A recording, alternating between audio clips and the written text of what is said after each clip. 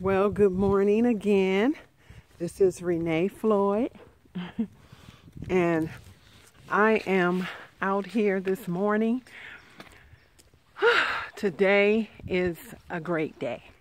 I am out here walking this morning. Um, this is health, physical health, and fitness month in January, and so you know I'm a regular exerciser anyway.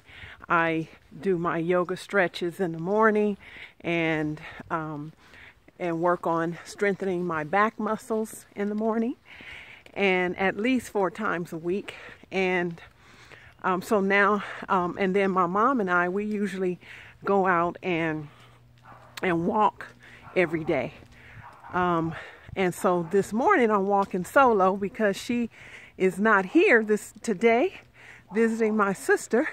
So I got to carry on the legacy and I got to carry on because I don't necessarily exercise just for her. I have to do it for me. And so that's the same with you. Exercise for you, for your health, so that you can feel good, look great, and keep moving. Keep moving that body. Now, if I don't exercise, then my body will lock up on me. and I don't want that to happen. So, but I feel good. I feel better when I exercise. And, um, and so that's the reason why I exercise.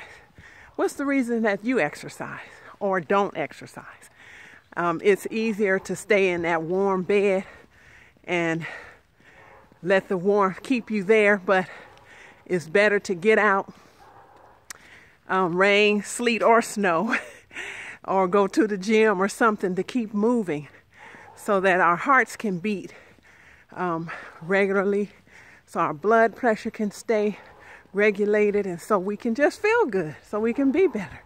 So I want to encourage you to, if you need to, use January like I am for physical fitness and physical health and fitness month.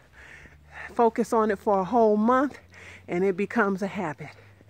All right, so I just want to let you know that I am jazzed today about my health because I know that health is wealth.